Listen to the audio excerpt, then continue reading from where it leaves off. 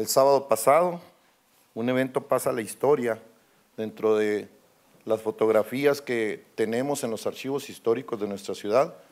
Hay que recordar la toma de Juárez en el Monumento a Juárez, cuando se, la gente se vuelca ya con el gusto de haber tomado la ciudad, de haber triunfado. La primera foto tomada en el Monumento a Juárez. Era el ícono, era el lugar especial para celebrar. ¿Cuántos eventos más van a pasar a la historia?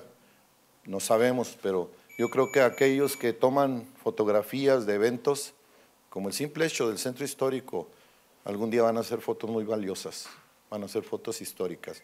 Y este evento que se llevó a cabo el sábado, en donde la primer pareja que se casa, Avi Puentes y Manuel Magaña. Fue un evento que nos marcó y claro que la fotografía, el que la haya logrado, bueno, algún día va a tener su valor histórico. Dentro de los eventos que nos quedan todavía hay algunos. La plaza sigue viva y ahorita está muy viva con el Festival del Tequila también, que empezó bien, por fortuna. El clima está permitiendo que se desarrolle. Y pues ojalá terminemos con saldo blanco. Hay una parte cultural dentro de la feria en donde nos toca participar también con una exhibición de monedas, que los invito a que vayan a conocerlos.